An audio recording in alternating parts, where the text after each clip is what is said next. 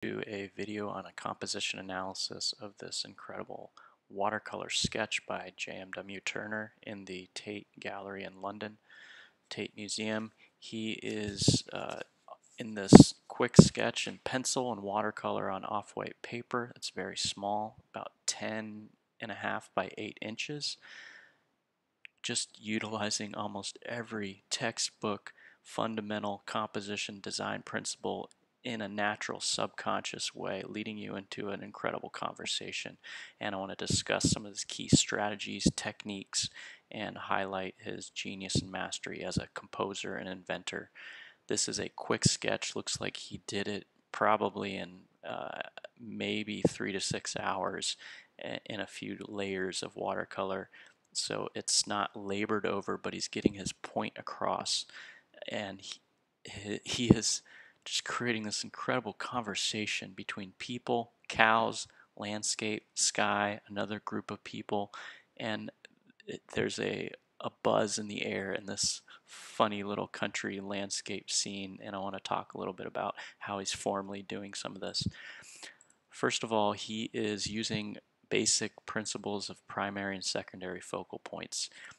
He's leading your eye on a journey from this group of figures over to this cow grouping, which this branch leads you up into this main mass of trees, back into this other grouping of figures in a circular path, which you kind of keep going round and round, and you just want to keep looking for more. This cow, funnily enough, is moving over to this one. This one moves back into the water, and this circular conversation is just a joy to, to look at, and Turner's having a lot of fun here. Um, along with these eye paths, there are primary action lines, which are contrasted by stabilizing horizontals and verticals. So diagonals are going to be dynamic, and verticals and horizontals will be more uh, serene, stabilizing, grounding, and uh, the contrast of these two creates a great conversation. One without the other would be too boring, and Turner uses a great variety of both here. I'm going to X this out, see if you can notice some of them yourself. Repeated diagonals on these reds and energies moving up to the right hand corner of the picture plane, back down into this left quadrant and lower area of the picture plane, contrasted by these blue lines, which are kind of the reverse diagonals of those reds. Those all sort of lead you into these more balanced, stable verticals of this figure, this figure, and then he's setting some of these horizontals off kilter, sort of throwing you off a little bit. This line of cows is perfectly horizontal, and all of these perfect horizontals and verticals help this bridge look so shaky and the caricature of it as a bridge that you might fall off of potentially is just highlighted by the fact that he's tweaking these angles slightly off kilter to the left or to the right. Just genius, and he's really feeling it in his composition. A lot of fun to look at and observe a great mind at work. Next, I want to move on to the armature of the rectangle. This is a basic concept that you may or may not have heard of, but all classical composers since basically the time of the Renaissance and all the way back to Greco-Roman times in the Western world have been dividing rectangles with series of simple diagonals in order to find key uh, intersections and key spatial divisions within the picture plane. This particular basic armature uses uh, diagonals to cut the picture plane and then alter alternating between uh, halves, thirds, fourths, and even up to fifths. Basically, in this uh, particular armature, Turner is kind of making use of this third and this third over here along with some halves and I will highlight those in this other slide here. So this figure, the secondary focal point figure is sort of holding this uh, right hand I guess that's actually quarters, uh, my bad. So one, two, three, four. So he's not really using the classic thirds. Rule of thirds would be here, here, here, and here. So he's using the quarters and the halves in this composition. And basically those create other intersections which he's following, echoing. I'll get rid of one of these and see if you can see the echoes along this main diagonal.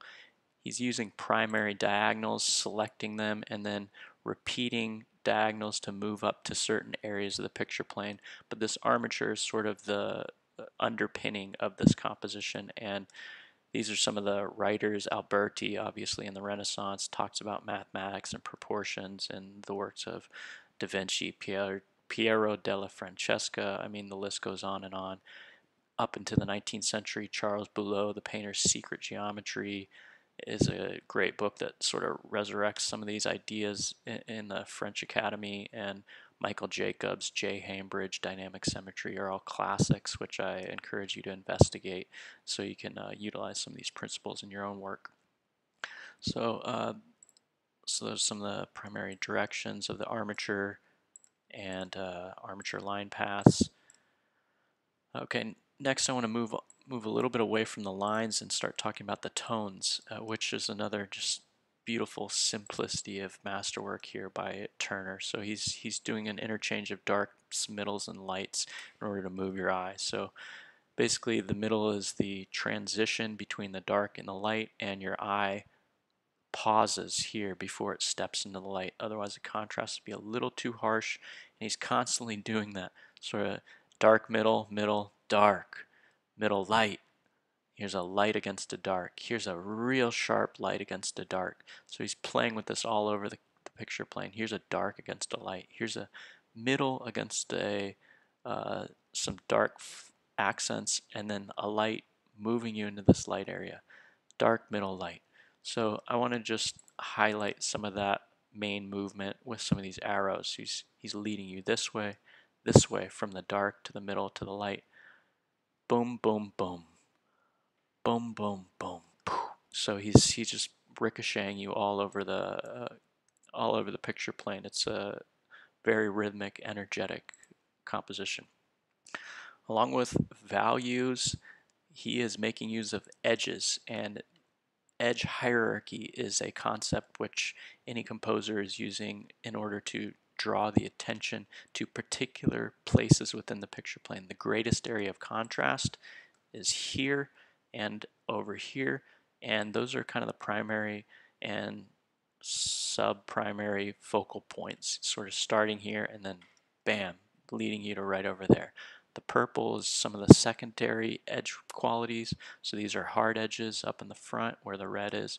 Purple is next in line and then S is the soft edges which are not as hard as these ones here or obviously the, the very hard sharp ones in the front. So uh, there's a edge hierarchy which he's utilizing in order to bounce you around the picture plane as well.